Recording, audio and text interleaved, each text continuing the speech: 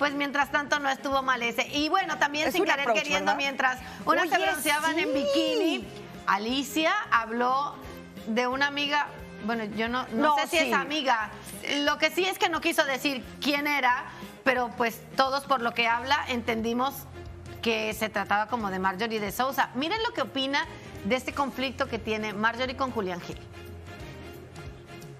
madre soltera que somos, sea lo que sea y estén los papás donde estén, no le quitas el derecho a ese hijo de tener esa persona en su vida.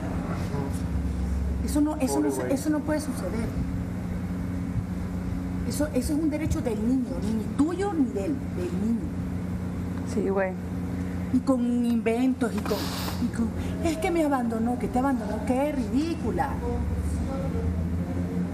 O sea, no entendí.